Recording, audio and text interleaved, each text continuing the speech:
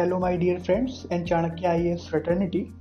I, Krishna Kumar, welcome you all to today's topic of discussion and today's topic of discussion is winter solstice. We are going to cover each and every topic related to solstice. Okay? Watch this session very carefully. It is going to be very very very important if you would understand the concept of solstices. Okay, then you will never face problems in questions related to the solstices. This session is going to be relevant for each and everyone who has interest in geographical phenomena. Okay, so before beginning our discussion, I would like to put forward a question related to solstices. So, consider the following statements with respect to solstices. The first statement says phenomena of solstices are associated with tropics okay? The second statement says winter solstice marks the longest day and the shortest night in the northern hemisphere. Which of the statements above are correct? Your options are these. You can uh, answer this question in the comment box if you know the answer. And if you don't know the answer please watch this video till the end of the session. And you will know each and every aspect of the solstice. So, beginning our discussion, I would like to discuss that why solstice is in news. Okay, December 21 was winter solstice and it is the shortest day of the year in the northern hemisphere. Day before tomorrow, day before yesterday was winter solstice as it was 21st December and uh, it was the shortest day of the year in the northern hemisphere. In Delhi, the sun rose at around 7 am and set at 5:29 pm, making the day 10 hours. Okay, so uh, you can see the day is being shortened. The day is being shortened, and in Delhi, the duration of day has reduced to 10 hours. Okay, similarly, in the southern hemisphere, the day is called summer solstice. In places like Australia, New Zealand, South Africa, the December 21 is year's longest day. Okay, so uh, in Melbourne, the sun rose at around uh, 5:54 a.m. on Monday and uh, set at around 41 p.m. That is, the day was around 14 hours and 47 minutes long. That is around 15 hours. You can see that similarly, the summer solstice in the southern hemisphere marks the longest day in the southern hemisphere. Okay, so let us understand that what is this solstice okay through this diagram because understanding anything through diagram is very informative and we get to know that what is the concept behind this. So we will discuss that what are these equinoxes and solstices and how they affect the earth and geographical phenomena. Okay this is sun and this is our earth okay and the earth is tilted on its axis by 23.5 degrees. Okay? So uh, here on 21st march here on 21st march the sun rays are perpendicular to equator. Okay? And this brings autumn in the southern hemisphere and spring in the northern hemisphere. After that the sun will move in the anti-clockwise direction. Sorry the sun the earth will move in the anti-clockwise direction. And this uh, on 21st june on 21st june there would be summer solstice. That is the sun rays would fall perpendicular to tropic of cancer. So it would mark the summers in northern hemisphere and winters in southern hemisphere and after that the sun will move further the, sorry the earth will move further and the and on 21st september. On 21st september there would be another equinox and this equinox would mark autumn in the northern hemisphere and spring in the southern hemisphere. And moving forward the sun on 21st December. The sun on 21st December would mark the winter solstice on which the sun rays will fall perpendicular to Tropic of capricorn. Okay and by this the northern hemisphere will mark by winters. Okay and the southern hemisphere will mark by summers. Okay you can see this video and see this slide again and again if you want to understand the concept very clearly okay? And if there would uh, would not have been any tilt in the earth then what would happen? Then the sun rays will going to fall perpendicular to equator throughout the year. Okay? And uh, one more thing to know is that earth revolves around the sun in anti-clockwise direction. What is anti-clockwise direction? Anti-clockwise direction means west to east. Okay? Here the earth is revolving from this side na okay. So now dealing with the basics of solstice okay. Uh, so shortening days and falling temperatures are mark the arrival of winter across the northern hemisphere as we have also discussed in our previous slides. So for people in north the year is the shortest. The 21st december day the day of 21st december is the shortest and also the official beginning of the winter. And the reason for this solstice is that earth is tilted with respect to the sun at an average of 23.5 degrees. This means the northern and southern hemisphere receive unequal amount of sunlight over a year as we orbit our sun. Okay? So by the advent of winter solstice by the advent of winter solstice ws means winter solstice.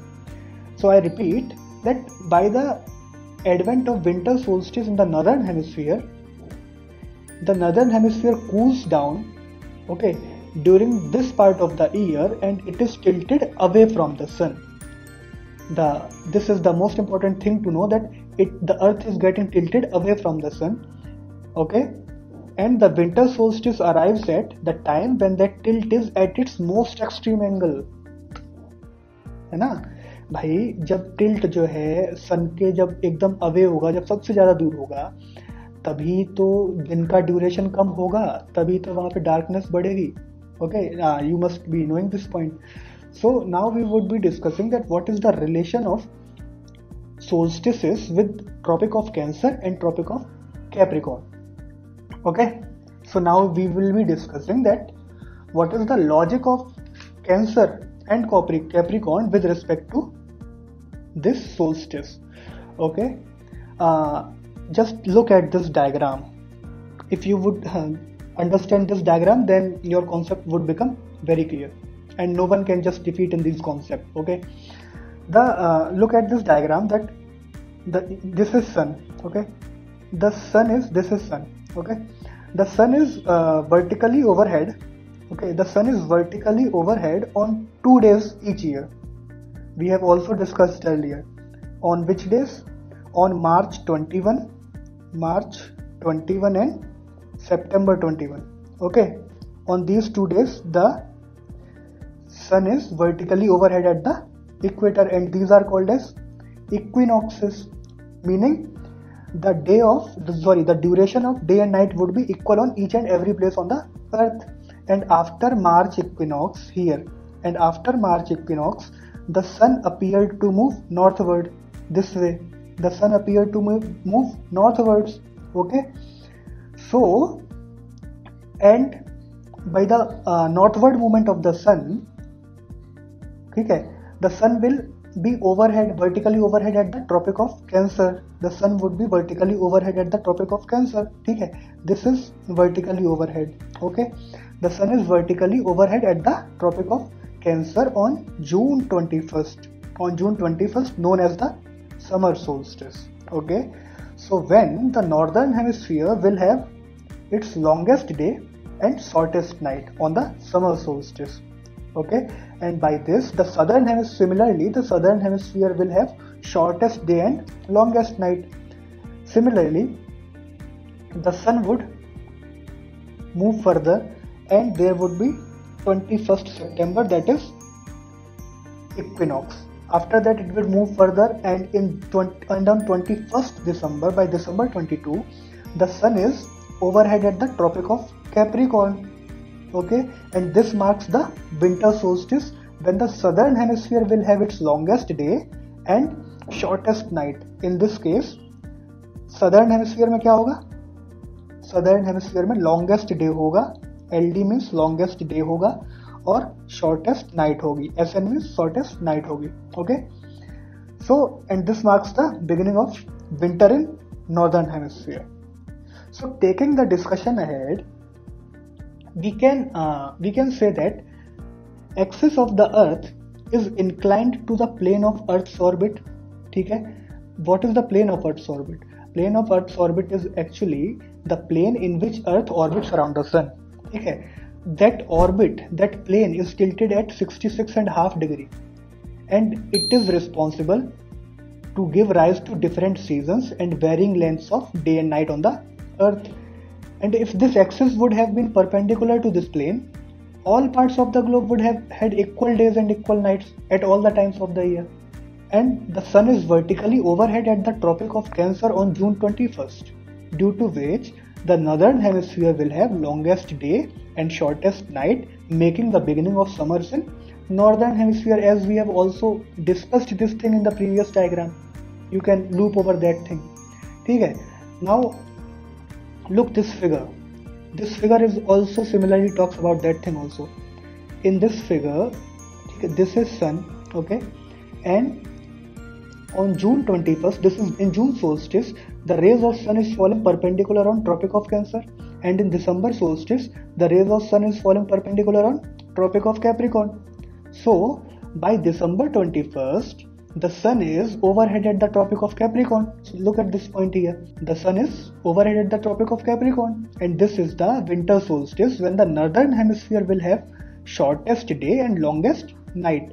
You can uh, remember it by SD and LN. Shortest day and longest night in northern hemisphere. Making the beginning of winters in the northern hemisphere. Okay. So uh, this figure will make you more clear regarding solstice, uh, specifically talking about winter solstice. So as Earth moves away from the sun, okay, this is how Earth is moving away from the sun. You can see this figure here, okay. So uh, on winter solstice, the North Pole would have six months of night, okay, because the southern part of the Earth or the the tilt of the earth moves towards the sorry moves towards the dark dark side of the sun. Dark side of the sun it means that the earth gets moved to moved from away from the sun okay?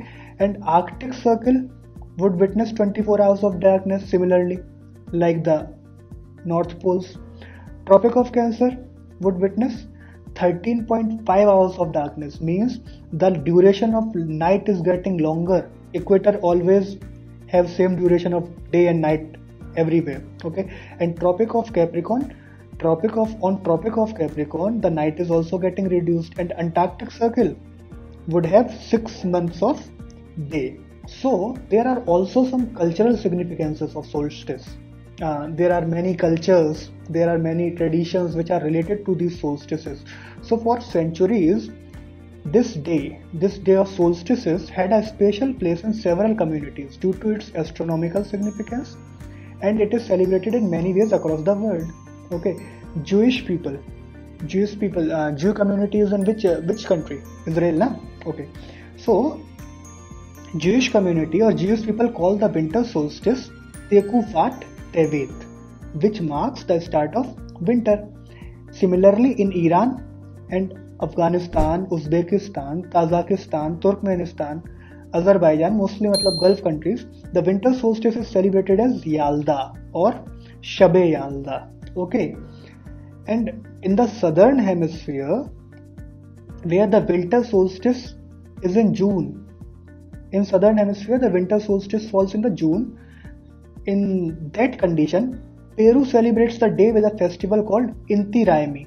Inti Raimi means the sun festival okay and in uh, india in vedic tradition the northern movement of the sun the sorry the northern movement of the earth on the celestial sphere ठीक है which outlines the Uttarayan what is Uttarayan ऐसा कहते हैं हमारे culture में कि जब सन उत्तरायण में जाता है जब सूर्य उत्तरायण में जाता है तो हमको पुण्य वाले काम करने चाहिए। क्यों?